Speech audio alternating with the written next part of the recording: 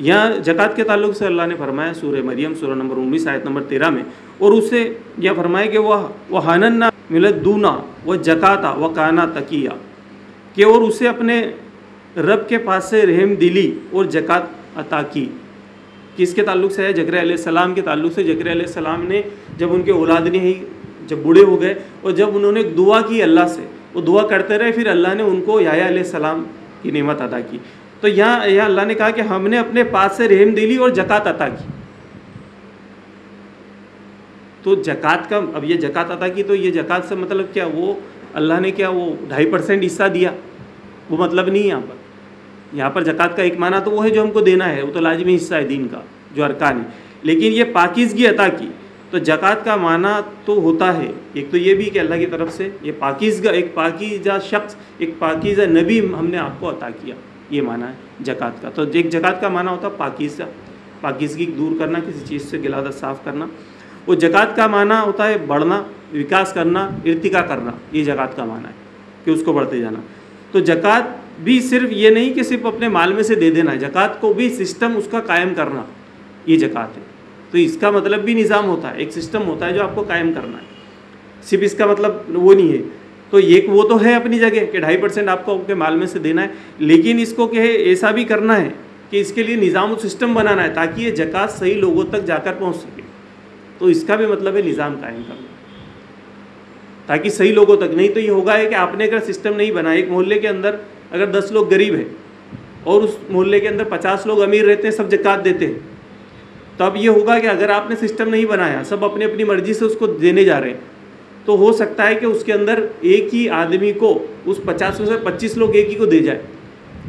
और बाकी नौ के हिस्से के अंदर फिर वो पच्चीस जने बांटे। किसी के साथ हो सकता है पहुँचे ही नहीं, बोले, यार, इसके करीब था, इनने दे दिया होगा। लेकिन उसने उससे सोचा कि, यार, ये तो थोड़ा ठीक है, उसको दे दूँ। और पता चला कि सब एक के पास में चली गई तो इसके लिए सिस्टम बनाना ज़रूरी है, और ये ऐसा हुआ भी है। एक बार एक, तकरीबन अभी से दो साल पहले की बात है, मैंने एक जो बच्चा था तो बीमार था, बच्चे दो तीन एक घर के अंदर बच्चे थे, वो बीमार थे, उनको अलग मुख्तलिफ़ बीमारियाँ थी तो गरीब था।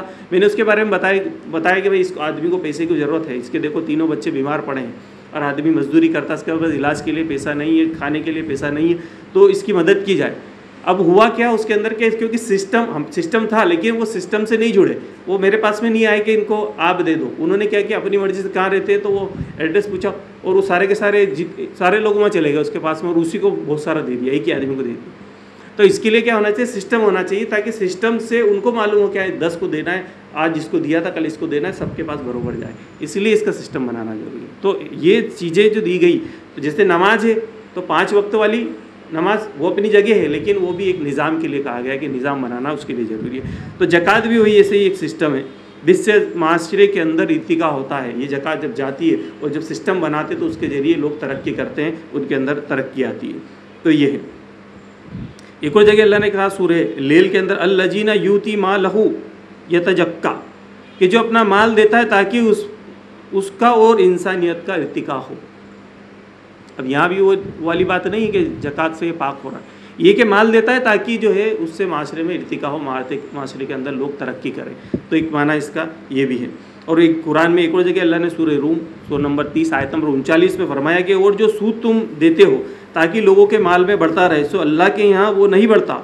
और जो तुम जक़ात देते हो, जिससे अल्लाह की रजा चाहते हो तो सो ये वही लोग हैं जिनका माल जो अपना माल बढ़ाते हैं।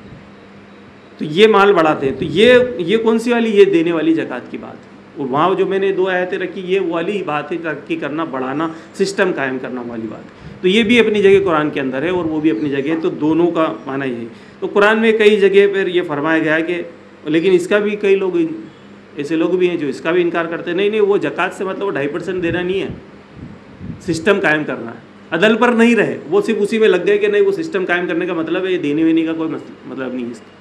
जगत नहीं देते। तो कुछ लोग ऐसे भी हैं उसके तो कम है लेकिन है, कुछ परसेंटेज उनकी तादाद है।